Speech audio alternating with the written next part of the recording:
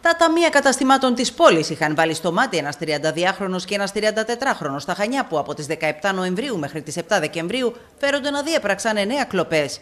Οι αστυνομικοί της Υποδιεύθυνσης Ασφάλειας, εξετάζοντας το υλικό κλειστών κυκλωμάτων ασφαλείας, δεν άργησαν να τους ταυτοποιήσουν και χθες το πρωί συνέλαβαν τον 32χρονο υπήκο Αλβανίας. Η παραβατικότητα έχει μεγαλώσει πάρα πολύ και στην Ήπεθρο και στις πόλεις παντού.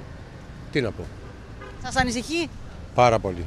Μου χτυπήσαν το κουδούνι, βγήκα έξω, είχαν κλέψει τη γειτόνισά μου. Σε μερικές μέρες μου κλέψανε και το δικό μου σπίτι. Αυτά. Όταν βλέπετε περιπτώσεις τουλάχιστον που συλλαμβάνονται οι δράστες, είναι μια ικανοποίηση για εσά που είστε παθούσα; Όχι. Δεν είναι γιατί σε λίγες μέρες έχει βγει έξω.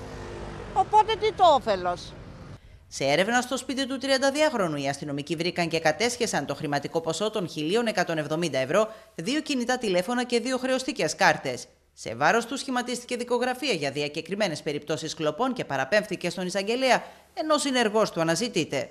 Εγώ δεν είμαι από εδώ, αλλά αυτά τα φαινόμενα δεν είναι καθόλου ευχάριστα και βλέπουμε ότι σε όλη την Ελλάδα το θέμα δεν πάει καθόλου καλά. Υπάρχει αύξηση εγκληματικότητας και πρέπει να πάρθουν μέτρα. Τι να πρωτοκάνει η αστυνομία όταν από την μια τους, τους τα φορτώνουμε και από την άλλη τους κυνηγάμε; Όπως προέκυψε από την έρευνα των αστυνομικών της ασφάλειας, ο 32χρονο μαζί με τον 34χρονο συνεργό του είναι επίσης οι δράστες της κλοπής ενός γιοταχή αυτοκινήτου.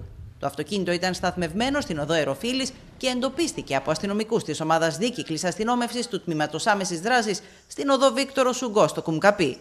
Ακούω διάφορα, εμένα δεν μου έχει συμβεί, εύχομαι να μην συμβαίνει σε κανένα.